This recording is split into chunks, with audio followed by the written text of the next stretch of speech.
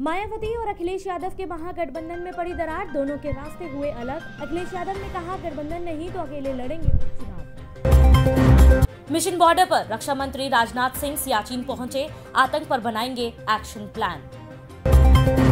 मोदी सरकार का बड़ा फैसला, अजित डोभाल को मिलेगा कैबिनेट मंत्री का दर्जा, बने रहेंगे एनएसए। आरएसएस प्रमुख मोहन भागवत बोले, अगर सरकार का कदम डगमगाया तो संघ देगा सकारात्मक सलाह। मनोज तिवारी का नया नारा अभी जीते सात में सात, अब जीतेंगे सत्तर में साठ सीएम केजरीवाल का बड़ा बयान, मेट्रो डीटीसी कलेक्टर बसों में अब मुफ़्त सफ़र कर पाएँगी महिलाएँ। पश्चिम बंगाल में टीएमसी को लगा एक और बड़ा झटका, सब्यसाची ने ज्वाइन की बीजेपी। ममता बनर्जी ने बीजेपी दफ्तर का तोड़वाया ताला, खुद पेंट किया अपनी पार्टी का नाम और निशान। गुजरात के एस जयशंकर और बिहार के रामविलास पासवान जा सकते हैं राज्यसभा। मोदी सरकार के नाम पर फ्रॉड कर रहा था इंजीनियर, लैपटॉप का दे रहा था झांसा, पुलिस ने किया गिरफ़्तार।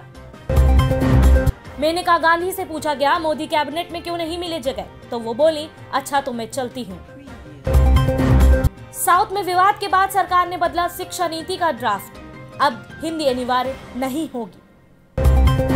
मोदी सरकार पार्ट टू में आरबीआई देने वाली है अपना पहला तोहफा। तीन जून से शुरू हुआ मंथन। मई महीने में जीएसटी कलेक्शन एक लाख करोड़ रुपए के पार, लेकिन अप्रैल की तुलना में है कम। हो सकती है पानी की किल्लत, देश के इक्यानवे जलाशयों में सिर्फ़ 20 प्रतिशत ही बचा है पानी। इसराइल ने सीरिया पर किया एयर स्ट्राइक एयरबेस को बनाया निशाना, पाँच की मौत। सलमान खान ने पीएम मोदी को किया ट्वीट, लिखा, माननीय प्रधानमंत्री, शानदार टीम के लिए बधाई। मज़बूत और एक समान भारत बनाने के प्रयासों के लिए पूरी कैबिनेट को मेरी तरफ़ से शुभकामनाएँ। करण जौहर और आदित्य चोपड़ा के लिए भावुक हुए शाहरुख खान और लिखा, ऐसा इमोशनल नोट। मम्मी करीना और पापा सैफ संग समर वेकेशन मना रहे हैं तैमूर अली खान। हॉलीडे की तस्वीरें हो रही हैं वायरल। साथ निभाना साथिया की एक्ट्रेस लवीसा हसन ने पति संग दूसरी बार रचाई शादी, तस्वीरें हो रही हैं वायरल।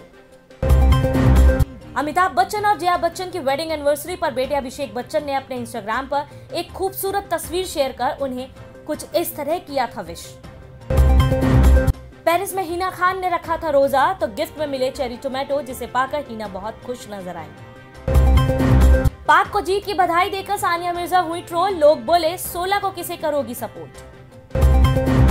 वर्ल्ड कप से पहले घूमने निकली टीम इंडिया तो फैंस ने जमकर किया ट्रोल।